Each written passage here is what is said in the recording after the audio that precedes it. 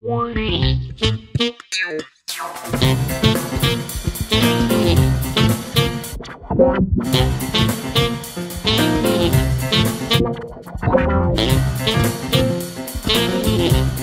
Hi there, welcome along to today's vlog. It's another Tech Tuesday vlog today and I'm reviewing, woo, the Alfheim, another Alfheim laptop case. This is more of a shoulder bag case, it's shockproof, um, resistant. Um, I've got some things here I picked up from the AWS conference yesterday.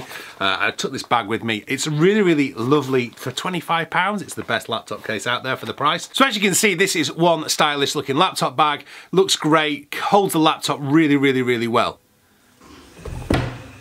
Now the one thing that is slightly confusing is that the laptop goes in at the top of the bag holds my 15 inch MacBook uh, Pro perfectly and then you've got plenty of space in the pockets for the charger and I kept my AirPods in there yesterday things like that. I think it's a brilliant laptop bag, it's well priced, you know, it's only 25 pounds. However, I don't think I'm gonna have too much to use for it. Why?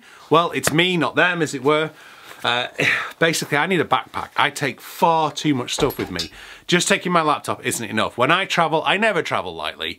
Um, I've normally got um, my, my, laptop, my iPad, my phone, my chargers, my AirPod Pros, um, a, a notebook. I want to sometimes take a camera with me and then I need something for the phone.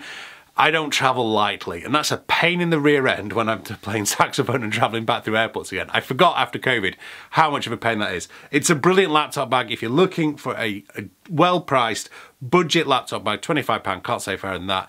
And actually, I think one of the things I liked about it when I took it around the AWS conference yesterday at the ExCeL is it, it looks good. It's lightweight and, and, yeah, I just had my laptop on me all day and it was fine. It wasn't a problem. The biggest problem was the ExCeL Centre in London had a terrible Wi-Fi, so I couldn't do any work anyway. But anyway, that's what it is. That's the Alfheim laptop bag. Uh, links below. Check it out. And that's the end of today's Tech Tuesday vlog.